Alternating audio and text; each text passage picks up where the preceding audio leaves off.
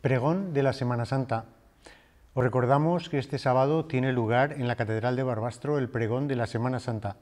Dará comienzo a las 17.30 horas y será pronunciado por el obispo don Ángel Pérez Puello.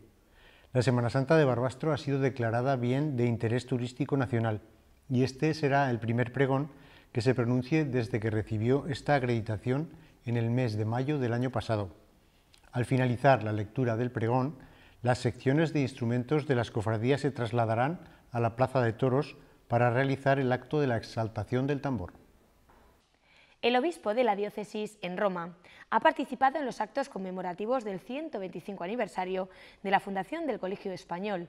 Lo inició en Roma el beato Manuel Domingo y Sol, fundador de la Hermandad de los Sacerdotes Operarios Diocesanos, y desde entonces lo han atendido y dirigido sacerdotes de la Hermandad. El obispo Jaime Flores, que fue obispo de la diócesis en Barbastro durante los años 1960 a 1970, fue anteriormente rector del Colegio Español de Roma y lo ha sido eh, recientemente el actual obispo don Ángel Pérez Puello en el año anterior a su nombramiento como obispo de la diócesis de Barbastro Monzón una representación de obispos españoles y un grupo de profesores y alumnos fueron recibidos por el Papa Francisco. Después de hablarles, el Papa saludó después personalmente a todos los presentes, entre los que se encontraba nuestro obispo.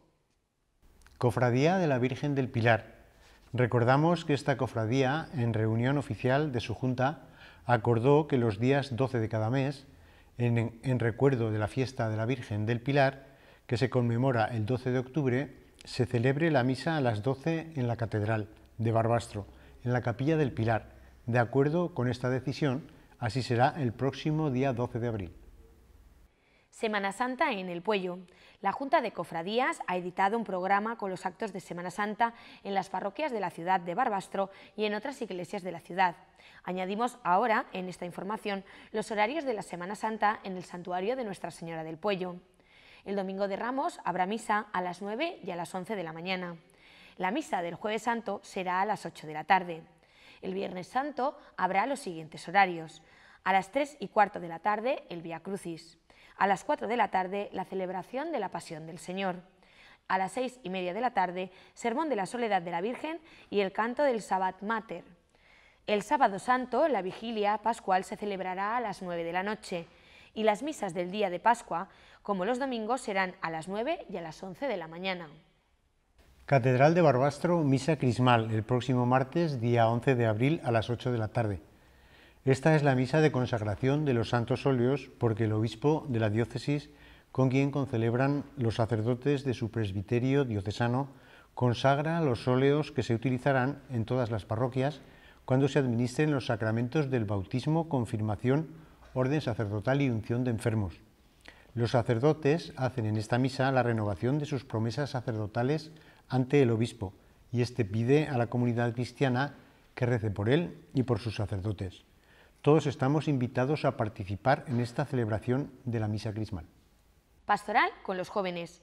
Barcelona ha sido la sede del simposio organizado por el Consejo de Conferencias Episcopales de Europa para reflexionar, debatir y afrontar el tema de acompañamiento pastoral y espiritual de los jóvenes. Este encuentro, que se celebró a finales del mes de marzo, reunió a un buen grupo de especialistas en la pastoral juvenil, escolar, universitaria, vocacional y catequética de las conferencias episcopales de Europa. Un grupo de jóvenes de la diócesis de Barcelona realizó una presentación multimedia de los desafíos, los problemas y las alegrías de los jóvenes de hoy en Europa. Presentación de la campaña Me apunto a religión, es la época de reservar la matrícula en los colegios e institutos. La Comisión Episcopal de Enseñanza y Catequesis se dirige a los padres y a los propios alumnos para que se apunten a la asignatura de religión católica. Bajo el lema Me apunto a religión, esta campaña anima a los padres a hacer uso del derecho que tienen a que sus hijos reciban la formación religiosa y moral católica en la escuela según sus convicciones. Se recuerda que es a ellos a quien corresponde la educación de sus hijos y no al Estado. La campaña invita a los padres a favorecer la educación religiosa de sus hijos y a inscribirse en la asignatura de religión católico. La asignatura de religión no es una catequesis ni evalúa la fe del alumno. Lo que pretende es ofrecer conocimientos, dar información y formación.